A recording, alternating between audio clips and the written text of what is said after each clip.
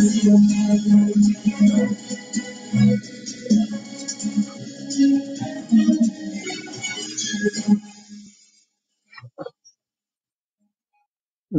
सुप्रभात सबैजनालाई स्वागत छ दरबारको सेयर अर्थ र राजनीतिक समाचारमा।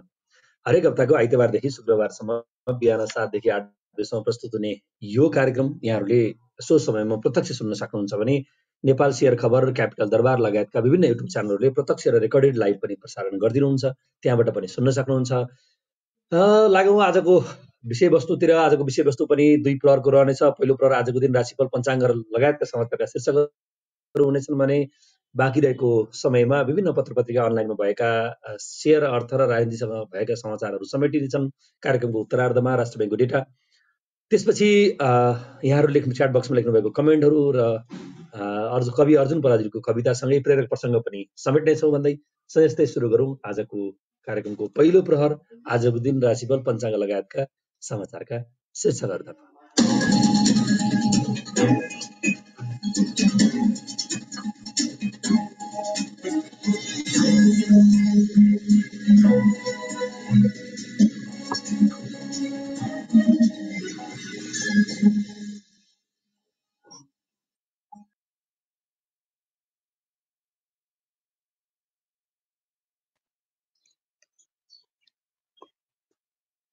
नमस्कार नमस्कार यहाँहरू सबैलाई नमस्कार सबैलाई स्वागत गर्दछु। यो हप्ताको अन्तिम ट्रेडिङ डे आज बिहिबार। कार्यक्रमतर्फ लागौँ। आज मिति एक्काइस साल कार्तिकको आठ गते बिहिबार तदनुसार अक्टोबर चौबिस दुई हजार चौबिस। आज संयुक्त राष्ट्र सङ्घ दिवस विश्व विश्व विकास सूचना दिवस परेको रहेछ। धेरै दिनपछि दिवस परेका रहेछन्। आज सूर्य आज बिहान छ बजेर नौ मिनट तेह्र सेकेन्डमा भयो भने सूर्यास्त भरे साँझ पाँच बजेर छब्बिस मिनट एघार उन्नाइस सेकेन्डमा हुनेछ। आजको दिन एघार घन्टा सत्र मिनटको रहेको छ। आज नक्षत्र पुनर्वसु परेको छ करण बल योग साध्य परेको छ। चन्द्रमा एघार बजेर उन्चालिस मिनट छत्तिस सेकेन्डमा राति उदाउनेछन् भने चन्द्र अस्त भोलि भोलिपल्ट एक बजेर तिन मिनट तिस सेकेन्डमा अस्त चन्द्रमा आज कर्कट राशिमा विराजमान भएको अवस्था छ। त्यस्तै आजको अमृत बार बेलाको समय भनेको एक बजेर बाह्र मिनट चौबिस सेकेन्डदेखि दुई बजेर सैतिस मिनट दुई सेकेन्डसम्म रहेको छ भने काल बाह्र बेलाको समय दुई बजेर सैतिस मिनट दुई सेकेन्डदेखि चार बजेर एक मिनट चालिस सेकेन्डसम्म रहेको छ। आज गोरखकाली पूजा परेको छ। गोरखकाली पूजाको बारेमा धेरै त्रुटि परिरहेको छ। त्यो भएर यसको बारेमा पढेर समय खर्च नगरौँ भन्ने मलाई लाग्यो। अब आज अर्को दिन परेको छ संयुक्त राष्ट्र सङ्घ दिवस। सन् उन्नाइस सय अडचालिसदेखि हरेक वर्षको अक्टोबर चौबिस तारिकका तारिकमा संयुक्त राष्ट्र सङ्घ दिवस मनाइन्छ। सन् उन्नाइस सय एकहत्तरको संयुक्त राष्ट्र सङ्घको महासभाले यस ऐतिहासिक दिनमा सम्पूर्ण सदस्य राष्ट्रहरूमा सार्वजनिक विदा दिनुपर्ने प्रस्तावलाई अनुमोदन गरेको थियो। आजका दिनमा विभिन्न कार्यक्रमहरूको आयोजना गरेर संसारभरि संयुक्त राष्ट्रसङ्घको गठन कार्य र ध्येयका बारेमा जानकारी गराइन्छ। हरेक वर्षको बिसदेखि छब्बिस अक्टोबरसम्म संयुक्त राष्ट्र सङ्घ सप्ताह मनाइनेमा अक्टोबर चौबिसलाई विशेष चाख र उत्साहका साथ संयुक्त राष्ट्र सङ्घ दिवसका रूपमा मनाइन्छ। पहिलो र दोस्रो विश्वयुद्धले थिलतिर गइसकेको विश्व र विश्व मानचित्र र युद्धका पीडाहरूका विश्व शान्ति र सद्भाव कायम गर्ने मध्यस्थता गर्नका लागि पुरानो लिग अफ नेसन्सले भूमिका खेलेको थियो। दोस्रो विश्वयुद्धको विध्वंस र विनाशले अमेरिका बेलायत सोभियत युनियनलाई संयुक्त राष्ट्रको घोषणा पत्रमा हस्ताक्षर गर्न जरुरी बनाएकोमा जर्मन इटाली जापान र अन्य केही युद्धरत राष्ट्र बाहेक छब्बिसवटा राष्ट्रहरूले सन् उन्नाइस सय बयालिसको जनवरी महिनामा संयुक्त राष्ट्र घोषणा पत्रमा हस्ताक्षर गरेका हुन्। सन् उन्नाइस सय पैँतालिसमा यसै घोषणा पत्रमा थप रूपरेखा तयार पार्न सान फ्रान्सिस्को अमेरिकामा पचासभन्दा बढी देशका प्रतिनिधिहरूले अक्टोबर चौबिसका दिन भेला भए। कोमा अक्टोबर चौबिसलाई नै हरेक वर्ष संयुक्त राष्ट्र सङ्घ दिवसका रूपमा लिइन्छ। संयुक्त राष्ट्र घोषणा पत्रलाई अमेरिका बेलायत चीन फ्रान्स लगायतका देशहरूले पनि पुष्टि र सहमति जनाएका छन्। यो वर्ष संयुक्त राष्ट्र सङ्घको महासभाले शान्तिको संस्कृति सम्बन्धी घोषणा र कार्य सम्बन्धी पारित गरेको पच्चिसौँ वार्षिक उत्सव मनाउने गरेको छ। Cultivating a culture of peace भन्ने यो वर्षको मूल नारा रहेको छ। शान्तिको संस्कृतिको विकास गर्दै भन्ने अर्थ राख्दछ भन्दै। आज संयुक्त राष्ट्र सङ्घ दिवस रहेछ। सम्बन्धित निकायले विशेष गरी यो राष्ट्र यो दिवस मनाओस् भन्ने अपेक्षा राख्दै अर्को दिवस परेको छ। आज विश्व विकास सूचना दिवस। सूचना र सञ्चार प्रविधिहरूले विकासको चुनौतीहरू र विशेष गरी विश्वव्यापी समाधान प्रदान गर्न सम्भव छ र आर्थिक वृद्धि प्रतिस्पर्धा सूचना र ज्ञानको पहुँच गरिबी उन्मूलन र सामाजिक समावेशितालाई प्रोत्साहन दिन सक्छ। सन् उन्नाइस सय बयत्तरमा राष्ट्र सङ्घ संयुक्त राष्ट्र सङ्घको साधारण सभाले विश्व विकास सूचना दिवस स्थापना गरेको हो र विश्व विकासको समस्या र तिनीहरूलाई समाधान गर्न अन्तर्राष्ट्रिय सहयोगलाई बलियो बनाउने सङ्कल्प लिएको छ। त्यस यता हरेक वर्षको चौबिस अक्टोबरको दिनमा विश्वभरि विश्व विकास सूचना दिवस मनाइन्छ। राष्ट्र सङ्घले राष्ट्र सभाले बताएको छ कि सूचनाको प्रसार र गतिशीलताले खास गरी युवा मान्छेमा रहने विकासको समस्याहरूको बारेमा अधिक जागरुकताको नेतृत्व गर्नेछ। यसले विकासको लागि अन्तर्राष्ट्रिय सहयोगको क्षेत्रमा प्रयासको बढावा दिन्छ। विधान सभाले विकासको केन्द्रीय भूमिका बलियो बनाउन यसलाई संयुक्त राष्ट्र सङ्घ दिवसको रूपमा मनाउँदै आइएको हो भनेर पनि आज यो अर्को दिवसको बारेमा पनि मैले यहाँहरूलाई छोटो टिप्पणीमूलक जानकारी गराएँ। अब म लाग्दछु राशिफलतर्फ। आज अलिक स्वास्थ्य स्थिति पनि खासै गतिलो छैन। त्यो भएर समाचारहरू राजु सरले नै पढ्नुहुन्छ भन्ने मलाई लागेको छ। केही खेलकुद समाचार चाहिँ म लिन चाहन्छु। राजु सरले कहिले पनि पढ्नुहुन्न। राफिनाको ह्याट्रिकमा बायनमाथि बार्सिलोनाको शानदार जित भनेर यो युएफए च्याम्पियन्स लिग फुटबलमा बार्सिलोनाले म्युनिक विरुद्ध शानदार जित दर्ता गरेको कुरालाई लेखेको रहेछ। त्यस्तै साफ महिला च्याम्पियनसिपमा बङ्गलादेश सेमिफाइनलमा नेपालले आज श्रीलङ्कासँग खेल्दै भन्ने भरे बेलुका गेम छ। हिजो पाकिस्तान बङ्गलादेश र भारतको गेम थियो। भारतलाई बङ्गलादेशले हराउन सफल भयो। नेपाल जापानसँग नौ दुईले पराजित। यता एघार गोल हाल्दै उतापट्टि हामी नौ नौ गोल खाँदै यो कतारमा चाहिँ अहिले यो एफसियु सत्र एसियन कप छनौट भइरहेको थियो। त्यसमा चाहिँ जापानसँग हामीले नौ दुईको हार बेहोरेको रहेछौँ त्यस्तै लिलीसँग एथलेटिकको म्याड्रिड तिन एकले पराजित यो पनि च्याम्पियन्स लिगकै कुरा हो। एउटा क्रिकेटको समाचार पनि मैले देखिरहेको थिएँ कता हो? हिजो बेलुका यसो हेर्दा सिटीले पाँच जिरोको जित निकाल्दा हल्यान्डको शानदार प्रदर्शन भनेर यो यो युसिएलकै गेम हो यो पनि। बाइनमाथि बार्सिलोना हाबी भन्ने त्यही कुरालाई दोहोऱ्याएको रहेछ। भन्दै भन्दै मैले खेलकुदको समाचार नेपालका समाचारहरू पनि देखेँ। दुई चारवटा त यहाँ अघि अहिले चाहिँ भेटिनँ मैले।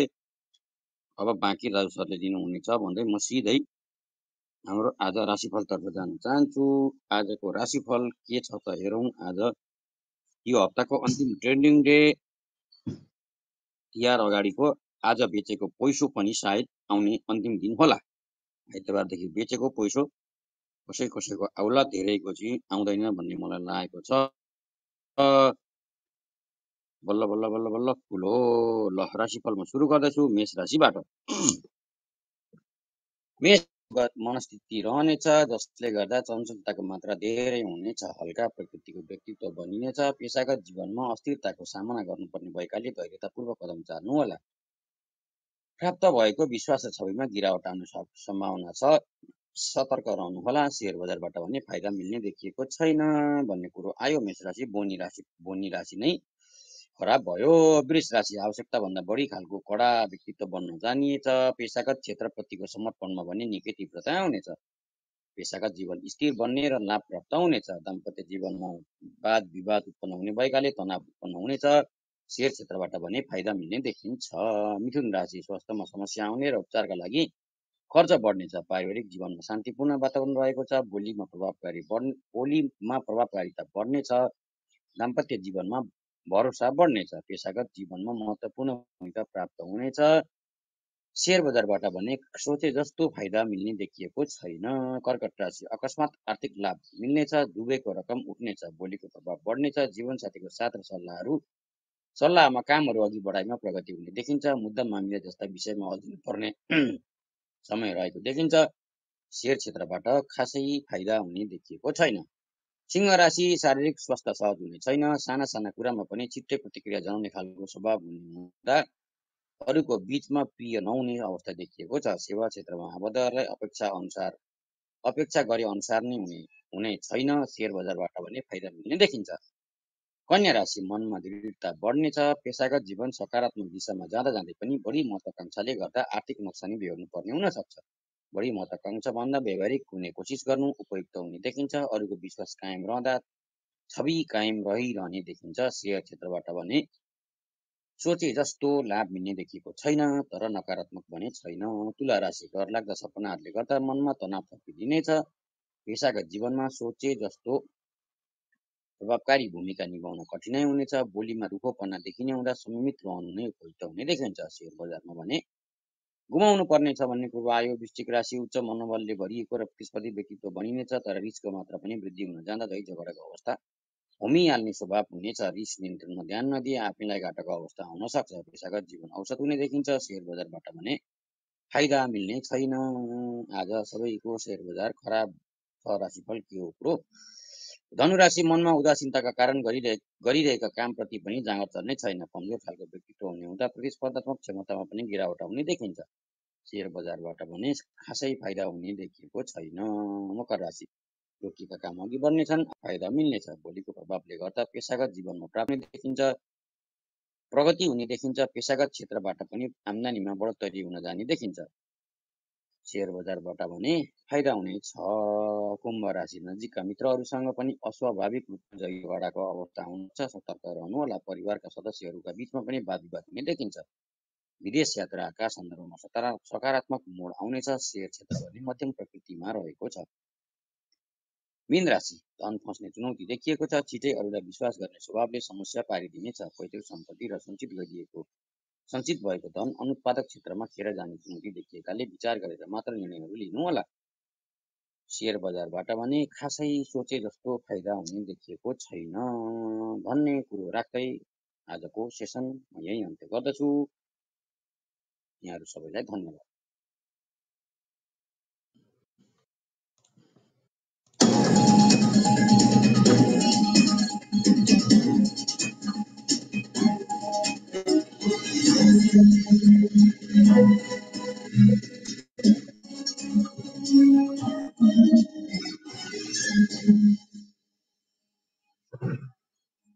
फेरि पनि नमस्कार तथा स्वागत छ सबैजनालाई दरबारको सेयर अर्थ र राजनीतिक समाचारमा। विप्लवजीले कार्यक्रमको पहिलो प्रहर पढेर सक्नुभयो। अब मसँग छन् विभिन्न पत्र पत्रिकामा छापिएका सेयर अर्थ र राजनीतिक समाचारमा समाचारहरू राजनीतिसँग जोडिएका समाचारहरू रहनेछन् अब सुरुवात कहाँबाट गरौँ? आज बेग्रल्ती समाचार छन्। कताबाट पढौँ भन्ने लागिरहेको छ। माथि म एक्लै छु। मिल्छ भने सफल छ। एकचोटि माथि आइदिनु मैले आग्रह गर्छु। भन्दै सुरु गरौँ जस्तै एउटा बिजनेस पाना डट कम भन्ने समाचारमा छ। विश्व लगानीकर्ता सप्ताहको अवसरमा पुँजी बजार सम्बन्धी सचेतना कार्यक्रम सम्पन्न भन्ने समाचारबाट। विश्व लगानीकर्ता सप्ताह दुई हजार चौबिसको अवसरमा नेपाल उद्योग वाणिज्य सङ्घ काठमाडौँले पुँजी बजार सम्बन्धी शिक्षा र सचेतना अभिवृद्धि गर्ने कार्यक्रम सम्पन्न गरेको छ। उद्योग वाणिज्य वाणिज्य महासङ्घ Nepal धितपत्र board Nepal stock exchange NEPSE CDSC धितपत्र broker association लगायतका को सहभागितामा मङ्गलबार कार्यक्रम सम्पन्न भएको हो। कार्यक्रममा नेपाल धितपत्र बोर्डका रेवत निर्देशक रेवत श्रेष्ठ धितपत्र बजारमा लगानी र जोखिम व्यवस्थापनबारे कार्यपत्र प्रस्तुत गरेका थिए। त्यसै धितपत्र ब्रोकर एसोसिएसनका महासचिव कृष्ण गिरीले सेयर बजारमा कसरी लगानी गर्ने सेयर छनौट कसरी गर्ने के के कुरामा ध्यान दिने बारे प्रशिक्षण प्रदान गरेका थिए। कार्यक्रममा नेपाल उद्योग वाणिज्य सङ्घ काठमाडौँको अध्यक्ष दिनेश श्रेष्ठले सेयर बजार संवेदनशील विषय रहेको तर लगानीकर्ता सचेतना भने कम रहेकोले सचेतना बढाउनु पर्ने बताएका थिए। त्यसकै लागि नेपाल उद्योग वाणिज्य सङ्घ काठमाडौँले यस्तो कार्यक्रम आयोजना गरेको उल्लेख उल्लेख गरेका छन्। पहिलेको तुलनामा समग्र पत्र बजार धेरै सुधार भएको भए पनि अझ धेरै सुधार गर्न बाँकी नै रहेको औल्याए नेपाल उद्योग वाणिज्य सङ्घ महासङ्घ बागमती प्रदेशका अध्यक्ष दिलसुन्दर श्रेष्ठले बुझेर मात्र सेयर बजारमा लगानी गर्न आग्रह गरेका थिए। लगानी गरिसकेपछि पछुताउनुभन्दा बुझेर मात्र लगानी गरेमा पछि पछुताउनु नपर्ने उनको भनाइ थियो। उनले महासङ्घले अझै लगानीकर्ता सचेतना कार्यक्रम गर्दै लैजाने पनि बताए। नेपाल उद्योग वाणिज्य महासङ्घका उपाध्यक्ष सुरकृष्ण वैद्यले नेपाल द्वितीय बोर्डले नेपाल राष्ट्र ब्याङ्क जस्तै स्वायत्त नियमक निकाय बनाउनु पर्ने बताएका थिए। उनले पुँजी बजारलाई सबैको पहुँचमा पुर्याउनु पर्ने उल्लेख गरे। साथै उक्त क्षेत्रबाट सरकारलाई राजस्व नउठिरहेको अवस्थामा सेयर बजारबाट सरकारलाई राम्रो आमदानी हुने भएकोले सेयर बजार र घर जग्गा कारोबारलाई खुकुलो बनाउनु पर्ने बताएका छन्। उनले आफू बोर्डको सञ्चालक समिति सदस्य हुँदा महासङ्घ र बोर्ड बिच सचेतना सम्बन्धी कार्यक्रम गर्ने संस्था भए बमोजिम सत्तर जिल्लामा पुँजी बजार सम्बन्धी सचेतना कार्यक्रम गरिने बताएका छन्। कार्यक्रममा नेपाल धितपत्र बोर्डका अध्यक्ष महेश बरालले नेपाल धितपत्र बोर्डले नियमित रूपमा आफ्नो काम गरिरहेको बताउँछन्।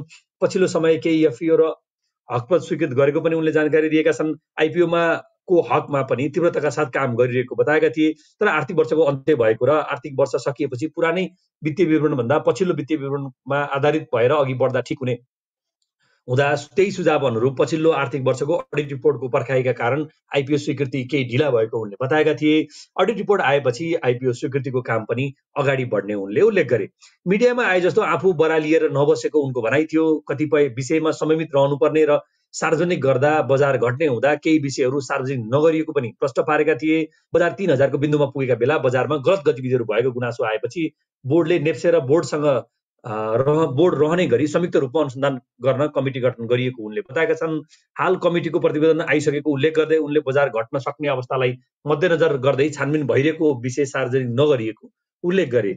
उनले संसारभर नै बजारमा हुने अनियमितताहरू रोक्ने काम स्टक एक्सचेन्जको भएको बताएका छन् तर नेपालको सन्दर्भमा स्टक एक्सचेन्जलाई कानुनी कारवाही गर्ने अधिकार नरहेकोले स्टक एक्सचेन्जले प्रमाण सङ्कलन गरेर कानुनी कारवाहीको लागि बोर्डमा पठाउनु पर्ने पनि उनले बताएका छन्। बजारमा हजारौँ कारोबार हुने तर कुनै एउटा कारोबार गलत तरिकाले भएमा त्यसलाई प्रमाणित गर्न महिनौ लाग्ने उनको भनाइ थियो। उनले चुता पुँजीको दस प्रतिशत मात्र सेयर आइपिओको रूपमा सार्वजनिक निष्कासन गर्न खोज्ने कम्पनीलाई आइपिओ निष्कासनको स्वीकृति नै नदिने बताउँछन्। उनले आफ्नो कार्यकालभर यस्ता कम्पनीलाई आइपिओ निष्कासनको अनुमति नदिने उल्लेख गरेका छन्। कानुनमा चुक्ता पुँजीको दस प्रतिशतदेखि पचास प्रतिशतसम्म आइपिओ को रूपमा निष्कासन गर्न सकिने व्यवस्था रहे पनि लगानीकर्ताको हित संरक्षणको लागि दस प्रतिशत मात्र सेयर आइपिओको रूपमा सार्वजनिक निष्कासन गर्न खोज्ने कम्पनीलाई आइपिओ निष्कासनको स्वीकृति नदिने उनले बताएका छन्। कानुन परिमार्जन हुन समय लाग्ने भए पनि आफ्नो कार्यकाल अवधिभर यस्ता कम्पनीले आइपिओ निष्कासनको अनुमति नपाउने उनको भनाइ छ। दस प्रतिशत मात्र सेयर बेचेर बाँकी नब्बे प्रतिशत सेयरको भ्यालु बढाएर कम्पनीलाई एक्जिट गराउन खोजेको भए त्यो अब सम्भव नहुने र कम्पनीको दिगोपना नसोची आफ्नो लागि मात्र नाफाका लागि आइपिओ निष्कासन गर्न खोज्नेलाई उनले निष्कासन नगर्न आग्रह गरेका छन्। अब आइपिओको लागि दर्ता हुन आउने कम्पनीले कम्तीमा पनि बिसदेखि पन्ध्र प्रतिशत सेयर सार्वजनिक सेयर निष्कासन गर्नुपर्ने उनले बताएका छन्। लगानीकर्ताको सुरक्षा गर्ने जिम्मेवारी पनि नेपाल र बोर्डले बोर्डको रहेको यस्तो कदम चाल्न लागि उनको भनाइ थियो भनेर उहाँले भनेका कुराहरू यसमा उल्लेख गरिएको छ। साथीहरूलाई सुन्दा फाइदै हुन्छ भनेर मैले यो समाचार पुढे परे बिजनेस भाना डट कममा यो अस्ति मङ्गलबार भएको कार्यक्रमको रूप यसमा आएको छ। अझ धेरै कुराहरू थिए। समाचार अलिक कमै लेखिएछ भन्दै सिधै अनलाइन खबरका समाचारहरू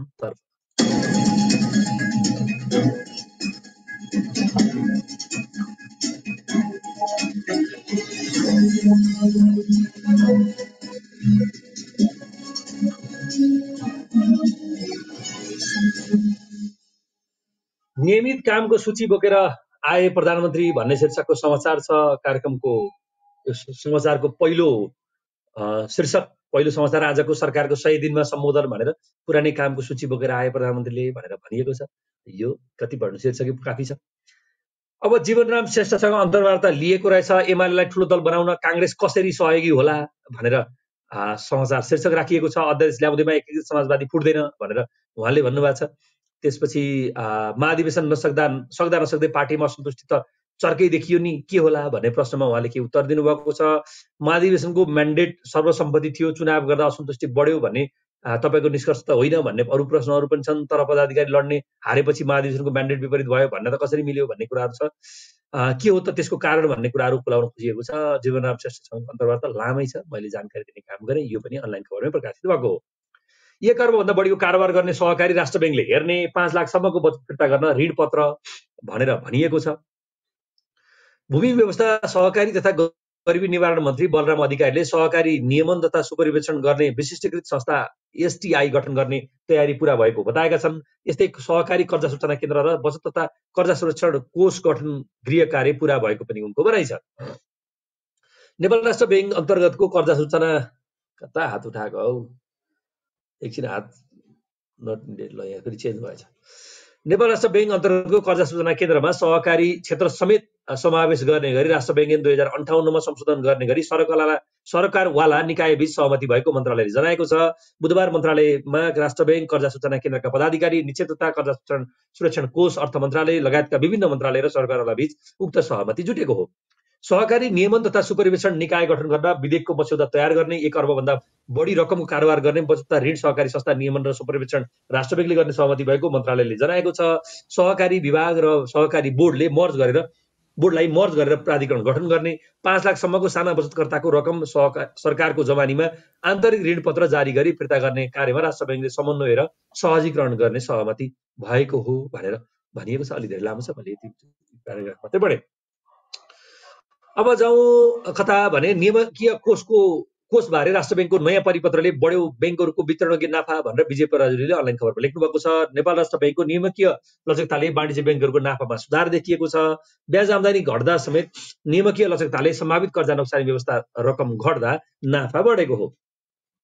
नियमिकीय व्यवस्थाकै कारण ब्याङ्कका सेयर धनीले पाउने लाभांशमा समेत राहत पुग्ने भएको छ। वाणिज्य ब्याङ्कहरूको बुधबार प्रकाशित आर्थिक वर्ष एकासी बयासीको प्रथम त्रैमासिक वित्तीय विवरण अनुसार नाफा बिस दशमलव एक सात प्रतिशतले बढेर सोह्र अर्ब उन्नाइस करोड पुगेको छ। ब्याङ्कहरूको खुद ब्याज आम्दानी गत वर्षको तुलनामा छ दशमलव नौ प्रतिशतले घटेर छयालिस अर्ब पचपन्न करोडमा झर्दा पनि झर्दा पनि राष्ट्र ब्याङ्कले लिएको नियमनकारी लचकताले कर्जा नोक्सानी व्यवस्था घटेसँगै राष्ट्र ब्याङ्क नाफा केही वृद्धि भएको हो भनेर भनिएको छ। गत आर्थिक वर्ष प्राय त्रैमासमा सोह्र अर्ब एकाउन्न करोड लाख सम्भावित कर्जा नोक्सानीमा छुट्याइएकोमा चालु आर्थिक वर्षको सोही अवधिमा दस अर्ब सतासी करोड मात्रै छुट्याएका छन्। कर्जा नोक्सानी व्यवस्थाको रकम चौतिस प्रतिशतले घट्दा ब्याङ्कहरूको नाफामा उल्लेख्य सुधार देखिएको हो भनेर हिजोको रिपोर्ट भनिएको छ। यो अनलाइन खबरकै समाचार थियो।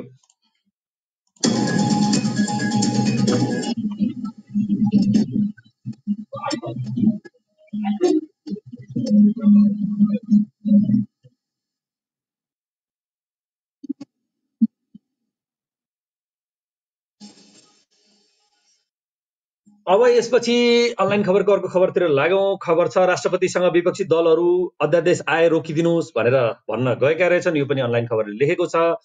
दल विभाजन सम्बन्धी अध्यादेश जारी हुने त्रासमा रहेका विपक्षी दलका नेताहरूले बुधबार राष्ट्रपति रामचन्द्र पौडेलसँग भेटवार्ता गरेका छन्। अध्यादेश रोकिदिन माग गर्दै शीतल निवास पुगेका विपक्षी दलका नेताहरूलाई राष्ट्रपति पौडेलले भने आइहाले बोलाएर परामर्श गर्ने आश्वासन दिएका छन्। प्रमुख विपक्षी दलका नेता पुष्पमल दाल प्रचण्डले दुई कार्तिकमा विपक्षी दलहरूको बैठक बोलाएका थिए। त्यहाँ दलहरूले दल विभाजन सहज हुने गरी सरकारले अध्यादेश ल्याउन सक्ने आशंका व्यक्त गरेपछि सभामुख प्रधानमन्त्री र राष्ट्रपतिलाई भेट्ने निर्णय गरेका थिए।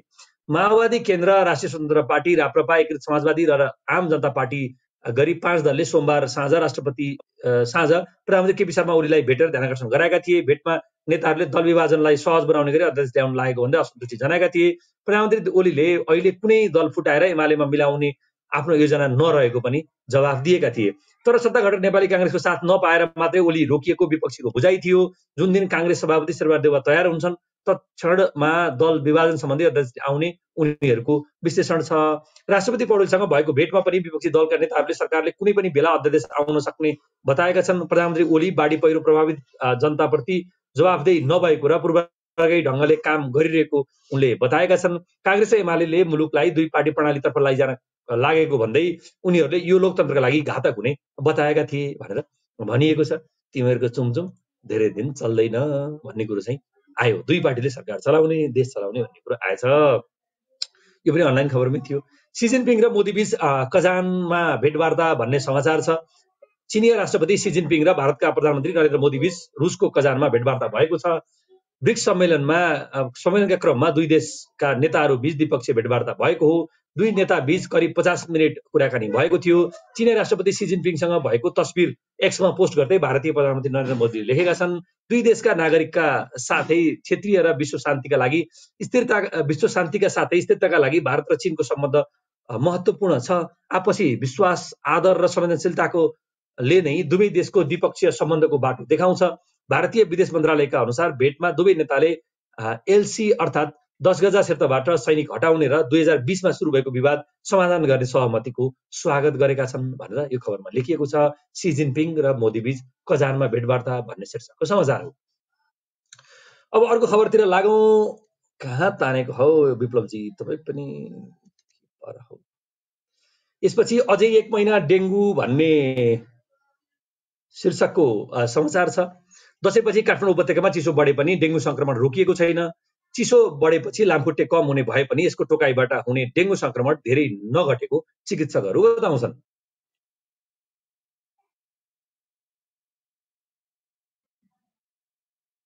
सुखराज ट्रपिकल तथा सौररोग अस्पतालका प्रमुख consultant physician doctor Bimal Bimal Sharma चालिसेका अनुसार दसैँपछिका केही दिनमा डेङ्गुका बिरामी वात्तै बढेका थिए। तिन दिन अगाडिसम्म त्यहाँ दैनिक बिसदेखि बाइसजना भर्ना भएका थिए तर आजभोलि बिस्तारै बिरामी कम हुँदै गएका छन् चालिसले भन्छन्। उनका अनुसार आगामी एक महिनासम्म डेङ्गु सङ्क्रमण जोखिम कायमै रहन्छ।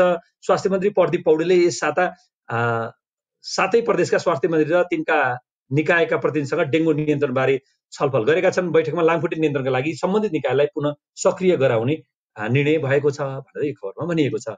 यो पनि अनलाइन खबरमै थियो।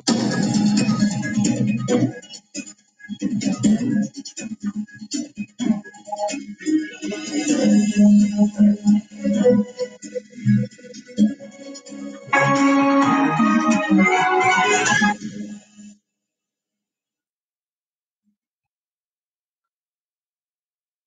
जाउँ अर्को खबरतर्फ।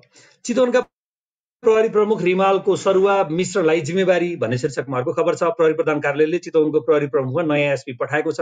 प्रहरी प्रधान कार्यालयले चितवनको एसपी भावेश रिमाललाई मानव बेचबिखन अनुसन्धान ब्युरोमा काज सरुवा गर्दै उनको ठाउँमा ब्युरोमै कार्यरत एसपी गौतम मिश्रलाई पठाइएको हो ल यो खबर थियो अनलाइन खबरमै। सहकारी ठगहरू कानुनको दायरामा ल्याइँदैछ भनेर। के हुँदैछ हौ?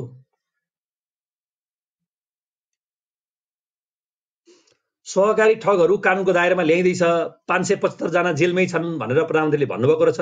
यो कुरा पनि अनलाइन खबरमै छापिएको छ। हिजोको सय दिने आफ्नो समयमा भन्नुभयो काङ्ग्रेसले भन्यो रासोपाले विधिको शासन अवमूल्यन गर्यो भनेर भन्ने समाचार पनि कान्तिपुरमा छ।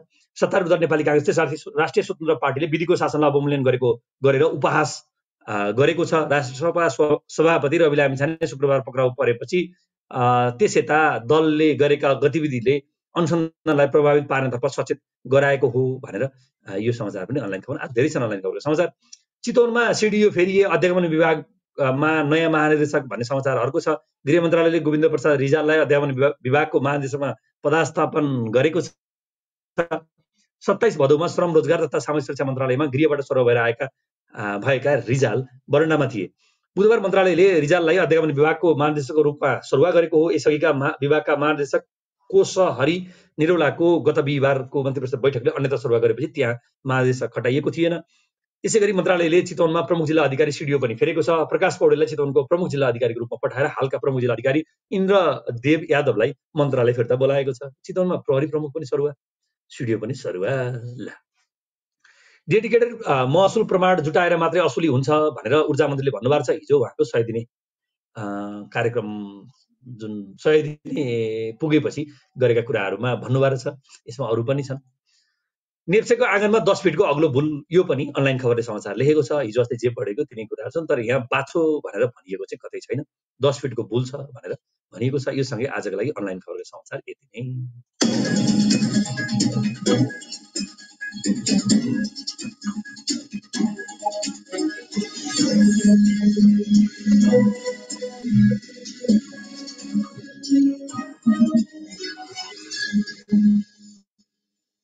अब मैले जान्छु बिस सालका केही समाचार लिउँ। पहिलो त्रैमासमा वाणिज्य ब्याङ्कको तीन मुख्य सूचकको तुलनामा विश्लेषण तुलनात्मक विश्लेषण गरिएको छ बिस सालको पहिलो समाचारमा। को अगाडि को पछाडि टेबल सहित दिएको रहेछ। वाणिज्य ब्याङ्कहरूको पहिलो त्रैमासको मुनाफा रु हजारमा भनेर भनिएको छ। सुरुमा नोबेल ब्याङ्क छ भने अन्तिममा एनआइसिसिआई ब्याङ्क छ।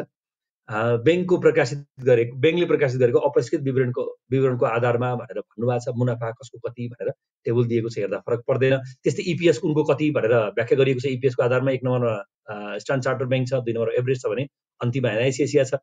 ए एनपिएलको कुनको कति बढ्यो भनिएको छ सबभन्दा एक नम्बरमा एनपिएल धेरै हुनेमा नेपाल इन्भेस्टमेन्ट मेगा ब्याङ्क छ लक्ष्मी सनराइज ब्याङ्क छ सिटिजन ब्याङ्क छ भने अन्तिममा average bank Sanima bank Nabil bank Nepal SBI र चार्टरहरू छन् एकदम रियरमा छन्। यसको एनपिएल भनेर बिस सालको डेटामा टेबल बनाएर राखिएको छ पढ्दा घाटा हुँदैन। पहिलो त्रैमासमा विकास ब्याङ्कको मुख्य सूचक कस्तो रहे को अगाडि बढ्यो को पछाडि छुट्यो भनेर यो डेटा हिजो आएको डेटालाई कम्पेरिजन गरिएको छ विकास ब्याङ्कहरूको। यसमा टेबल भए त पढ्न सजिलो हुन्थ्यो। खुद ब्याज आम्दानी इपिएस नेटवर्कका आधारमा को अगाडि कसले इम्प्लिमेन्ट चार्जको रूपमा कति कमाए कति छुट्याए भनेर भनिएको छ जसमा एक नम्बरमा गरिमा दुई नम्बरमा मुक्तिनाथ तिन नम्बरमा काम महालक्ष्मी चार नम्बरमा कामना सेवा पाँच नम्बरमा साइन रेसुङ्गा छ नम्बरमा साङ्ग्रिला सात नम्बरमा लुम्बिनी आठ नम्बरमा ज्योति सम्बन्धित ब्याङ्कले प्रकाशित गरेको पहिलो त्रैमासिक वित्तीय विवरणको आधारमा तयार गरिएको टेबल भनेर उहाँले भन्नुभएको छ। यो पनि समाचार। अब जाउँ दिनभर। दिनभर के के भयो त? दिनभर छब्बिस सय सत्तरी बिन्दुमा प्रतिरोधको सामना गरेको बजारको अबको सम्भावना कस्तो भनेर त्यही छब्बिस सय सत्तरीमा जान्छ ठकिन्छ जान्छ ठकिन्छ अनि जब अन्तिम पटक यसो क्रस गरेर माथि जान्छ त्यसपछि पुरै सुक्खा पहिरो झरे जसरी गुटुङ टुङ झरेको त्यो एक मिनट चाड लगाइ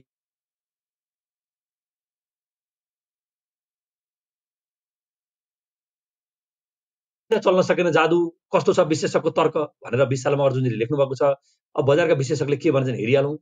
विशेषज्ञ को रहेछन् नेपाल इन्भेस्टर फोर अध्यक्ष निवर्तमान अध्यक्ष छोटेल राउनियारको विचारमा पनि राजनीतिक कारणले नै बजार गति लिन नसकेको बताउँछन्। उनी भन्छन् रवि लामी छानेको विषय र पोखरामा जारी आन्दोलनले बजारमा विश्वासको खडेरी पैदा गरिदियो। दसैँ अगाडि बजार केही बढेको पनि थियो। त्यही कारण पनि आज बजारमा गिरावट आएको हो। व्यक्तिगत वित्तीय क्षेत्रको रिपोर्ट सन्तोषजनक नै रहेको उनको विचार छ। यसले आज करेक्सन आए तापनि बजारले फेरि पनि गति लिने उनको भनाइ छ भनेर भन्नुभएको छ।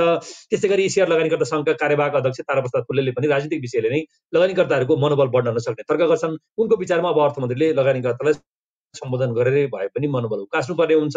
उनले थप्छन् अहिले लगानीकर्ता राष्ट्र ब्याङ्कको मौद्रिक समीक्षाको प्रतीक्षामा। रहेका छन्। यसको प्रभाव पनि बजारमा देखिएको हुनसक्छ। द्वितीयपल्ट बोर्डमा अध्यक्ष नियुक्ति तथा मार्जिन कारोबारको व्यवस्था सरकारले गर्नुपर्ने पनि उनको विचार छ। केही बढेको बजारमा आज करेक्सन आएको र यो स्वाभाविक रहेको पनि उनको तर्क छ।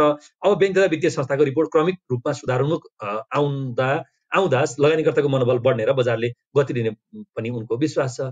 यो मैले देख्दाखेरि यी कार्यवाहक अध्यक्ष नै थिए। अहिलेसम्म पनि कार्यवाहक अध्यक्ष नै छन्। त्यो संस्थाको साधारण सभा हुँदैन कि पनि यी भोलि गएर ब्रह्मनालमा जाँदा पनि कार्यवाहक अध्यक्ष नै भएर जान्छ जस्तो देखिन्छ भन्ने कुरो पनि आयो। यो थियो। यो नतानाउ न प्लिज यार यसरी नतानाउ न मैले त रुमै बन्द गर्नुपर्ने हो यसरी भएन। कसरी के आज यो अपडेट आएको छ यो तान्ने कोसिस गरिदिनु मलाई फेरि तान्न देखा। आज फल्ट हो यो फल्ट हो सिस्टमको फल्ट हो। यो रुमै बन्द गरेर म नयाँ म रुम अर्को खोल्छु कृपया फेरि आउनु होला है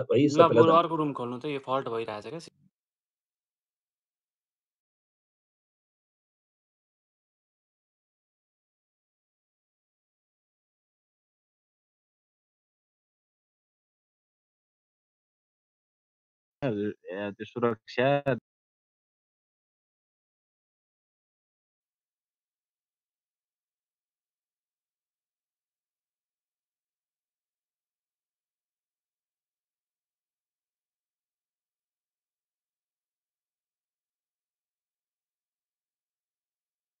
ल माफी चाहन्छु अघि रुम बन्द गर्नु पर्यो यो भन्दै भन्दै अब फेरि सुरु गरौँ हामीसँग बेग्रेल दिशामा हात उठाउने मान्छेलाई कृपया म तान्ने छैन कृपया नउठाउनु होला। कसैले पनि नउठाउनु होला भन्न चाहन्छु।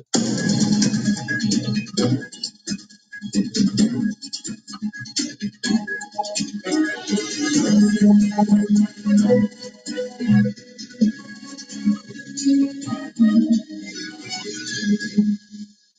बजार घट्दा नासासहित सातवटाबाट उच्च खरिद तिनवटाबाट मात्रै बिक्री भनेर भनिएको छ। सेयर बजारमा गिरावट आउँदा नासासहित सातवटा ब्रोकरबाट उच्च खरिद भएको छ भने तिनवटाबाट मात्रै बिक्री भएको छ।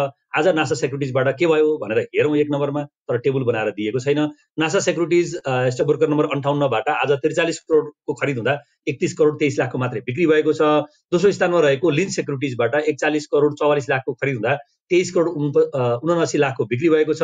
तेस्रो स्थानमा भिजन सेक्युरिटी ब्रिटिसबाट तेत्तिस करोड छयत्तर लाखको खरिद हुँदा तिस करोड दस लाखको बिक्री भएको छ।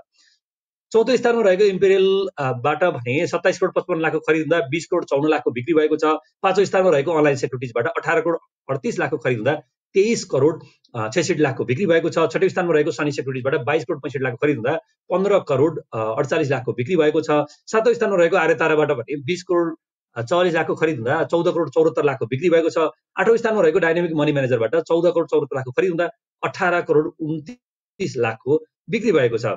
नौ स्थानमा रहेको एबिसी सेक्युरिटिजबाट बाह्र करोड सन्तानब्बे लाखको खरिद हुँदा सोह्र करोड एकचालिस लाखको बिक्री भएको छ भने दसौँ स्थानमा रहेको त्रिशक्ति सेक्युरिटिजबाट सोह्र करोडको खरिद हुँदा दस करोड दस करोड पन्ध्र लाखको बिक्री भएको छ भनेर भनिएको छ। सत्र नम्बर र उनपचास नम्बरबाट बिक्री बढी छ भने अरू बाँकी आठवटाबाट खरिदै बढी छ र भने बजार उत्तान ढाङ। हेर्नुहोस् यस हुन्छ सहकारी कर्जा सूचना केन्द्र र एसटिआई गठनको गृह कार्य पुरा भनेर मन्त्री अधिकारीले भनेका छन्। यो अघि अनलाइन खबरमा पनि पढ्यौँ। यो समाचार विशालामा पनि थियो। जोसुकै भए पनि कानुनी कारवाही गरिन्छ भनेर प्रधानमन्त्री भन्नुभएको छ। जोसुकै होस् सहकारी ठग छ भने कारवाही गर्छु भनेर हिजो सय दिनको अवसरमा प्रधानमन्त्रीले भनेछन्। टाटाको टियागो इभी कसैलाई टाटाको टियागो इभी चाहिएको छ भने यहाँ पुरा बबाल अफर आएर छ। टाटाको टियागो इभीको धनतेरस धमाका हरेक बुकिङमा सुनको असर पिर आइफोन सोह्र प्रो। यदि आइफोन सोह्र प्रो र सुनको असर असरपी चाहिन्छ भने टाटाको टियागो गाडी किन्नु भैँसी किन्दा पाडो उपहार पाडो किन्दा भैँसी उपहार अब सेयर बजार प्रगतिको लयमै छ भनेर प्रधानमन्त्री हिजो भन्नुभएको छ मुसुक हाँसेर यिनका जुङ्गा मस्केका। प्रधानमन्त्री केपी शर्मा ओलीले वर्तमान समयमा सेयर बजार प्रगतिको लयमा रहेको बताएका छन्। प्रधानमन्त्री ओलीले आफ्नो नेतृत्वको सरकारले सय दिन पुरा गरेको अवसरमा प्रगति विवरण सार्वजनिक गर्दै यस्तो कुरा बताएका हुन् भनेर भनेकै दिन बजार बिस अङ्कभन्दा बढीले सही भन्दै बिस साललाई आज यति नै गरौँ।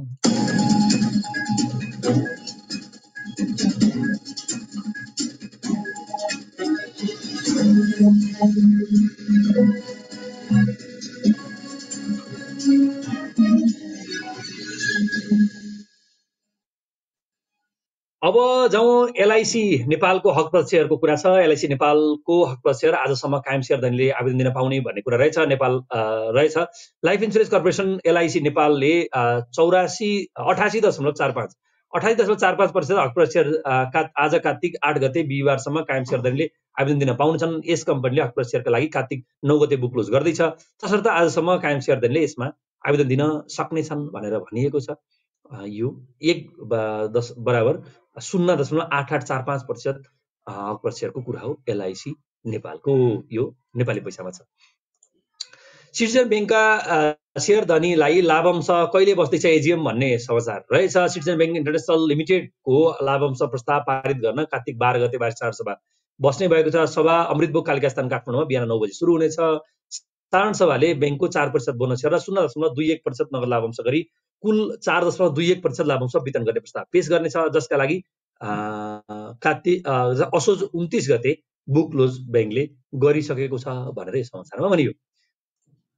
ब्याङ्कहरूले थप बढाए सेयर दितो कर्जा कुन ब्याङ्कले कति प्रभाव कति गरे प्रभाव तथ्याङ्क हेरौँ भनेर भनिएको छ। ब्याङ्क सेयर दितो कर्जाको कुरा रहेछ margin nature loan amount in million भनेर भनिएको छ।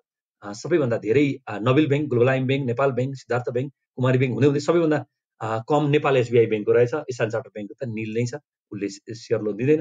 यो मार्जिन नेचर लोनमा भदौ महिनाको दुई हजार एकासी र दुई हजार असीको डिफ्रेन्स हेरिएको छ।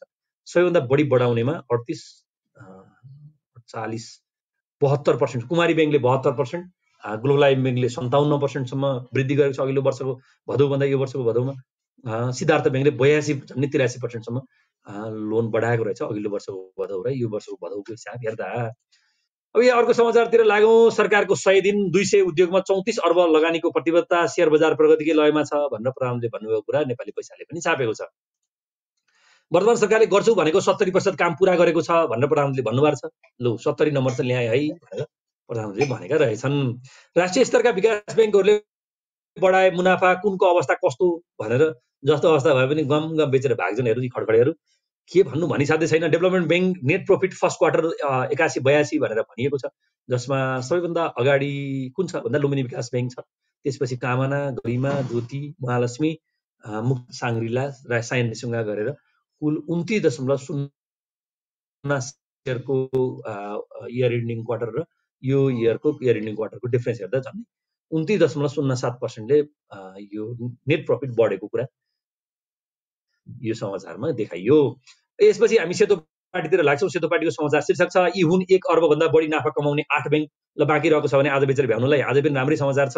चालु आर्थिक वर्ष एकासी बयासीको पहिलो त्रैमासमा एक अर्बभन्दा धेरै नाफा कमाउने कम्पनीको सङ्ख्या आठवटा रहेको छ। यसरी एक अर्बभन्दा बढी नाफा कमाउनेमा Nabil गोलबलायमी Nepal mega prime commercial NMB Everest Kumari र प्रभु ब्याङ्क छन्। नबिल ब्याङ्कको नाफा सबैभन्दा धेरै दुई अर्ब पाँच करोड रहेको छ। ब्याङ्कको नाफा चालिस प्रतिशतले बढेको हो। यसअघि ब्याङ्कको नाफा एक अर्ब छयालिस करोड थियो। ग्लोबलाइम ब्याङ्कको नाफा त्यही दशमलव सात सात प्रतिशतले बढेर एक अर्ब एकाउन्न करोड पुगेको छ। यसै अघि यसअघि ब्याङ्कको नाफा एक अर्ब बाइस करोड थियो। इन्भेस्टमेन्ट मेगा ब्याङ्कको नाफा तिन दशमलव नौ चार प्रतिशतले घटेर एक अर्ब छयालिस करोड रुपियाँमा सीमित भएको छ। यसअघि ब्याङ्कको नाफा एक अर्ब बाहन्न करोड थियो। प्राइम कमर्सियल ब्याङ्कको नाफा एघार प्रतिशतले बढेर एक अर्ब अठाइस करोड रुपियाँ पुगेको छ। यसअघि ब्याङ्कको नाफा एक अर्ब पन्ध्र करोड थियो। एनएमबी ब्याङ्कको नाफा उन्नाइस प्रतिशतले बढेर एक अर्ब चौध करोड पुगेको छ। यसअघि ब्याङ्कको नाफा छयानब्बे करोड थियो। एभरेज ब्याङ्कको नाफा करिब त्रिचालिस प्रतिशतले बढेर एक अर्ब बाह्र करोड पुगेको छ। यसअघि ब्याङ्कको नाफा अठहत्तर करोड थियो। कुमारी ब्याङ्कको नाफा तिन सय एघार प्रतिशतले बढेर एक अर्ब सात करोड पुगेको छ। यसअघि ब्याङ्कको नाफा जम्मा छब्बिस करोड थियो। प्रभु ब्याङ्कको नाफा करिब शून्य दशमलव नौ सात प्रतिशतले बढेर एक अर्ब चार करोड पुगेको थियो। यसअघि ब्याङ्कको नाफा एक अर्ब तिन करोड थियो। ल यति भयो पुगेको बाँकी महँगोमा किन्ने मुस्ताङी किसानले बेचे बयानब्बे करोडको करोड बढीको स्याउ ल यो पालि मुस्ताङको स्याउ राम्रोसँग बजारमा खपत भएको र बिक्री गरेको पनि साह्रै मिठा छन् हौ भन्नुपर्छ हेर्नुहोस् मिठा चिजलाई राम्रो भन्नुपर्छ प्रधानमन्त्रीको पुता नगरेको भन्दै चितवनका सिडिओ र एसपी स्थानीय मन्त्रालय ल दुवैजनाको अनुहार सहित यो समाचार यो सेतो पार्टीले लेखेको छ दुईजना बोलाए अर्कोलाई पठाए माओवादी सत्ता वियोगको छटपट्टिबाट बाहिर निस्कन सकेन भनेर शङ्कर पोखरेलले भन्नुभएको छ यो रातो पार्टीमा आएछ कहाँ आएछ भन्दा रातो पार्टीले सत्ता वियोगको छटपट्टि भनेर शङ्कर पोखरेलले भनेछ। छवि लागे अघि अघि रवि पछि पछि हेर्नुहोस् त शीर्षक पनि कस्तो राम्रो। गाडी ठगी प्रकरण भनेर यो समाचार पनि रातो पार्टीमा छ। राष्ट्रिय स्वतन्त्र पार्टीका सभापति रवि लामिछानेमाथि सहकारी ठगीको आरोपमा पोखरामा बयान चलिरहेको छ। पोखराको प्रदर्शन सहकारीको करिब बयान चलिरहेको जिल्ला सरकारी वकिलको कार्यालय कास्कीले जनाएको छ। बयान सकेर जिल्ला अदालतमा थप अनुसन्धानका लागि म्याद थप गर्ने तयारी भइरहेको तर बयान नसकिएमा म्याद थप थपेर फेरि बयान जारी राख्ने जिल्ला सरकारी वकिलको कार्यालयले जनाएको छ। जिल्ला सरकारी वकिल कार्यालय कास्कीकी प्रमुख कमला काफ्लेको काफ्लेको कार्यकक्षमा रविको बयान लिएको छ। बयानमा रविले पोखराको सहकारीबाट ऋण नलिएको र रवि लामिछाने भनी उल्लेख भएको नाम आफ्नो नभएको दावी गरेका छन्। भन्ने कुरो आयो धेरै बाँकी पढ्न कति रवि र छवि जिबी भनेर वाक्य भइसक्यो महिनौ भइसक्यो खालि त्यही समाचार मात्रै छ। अब अभियानतिर लागौँ। नाफाजनक वित्तीय विवरण आउँदा पनि ब्याङ्किङ समूहको सूचक एक दशमलव सात प्रतिशत घट्यो। के आयो त अब? खडखडै छ। घट मङ्गलबार पच्चिस दशमलव आठ आठ अङ्कले बढेको नेप्से बुधबार बिस दशमलव चार एक अङ्कले घटेर बन्द भयो। यससँगै नेप्से दुई हजार छ सय पैँतालिस दशमलव तिन नौ बिन्दुमा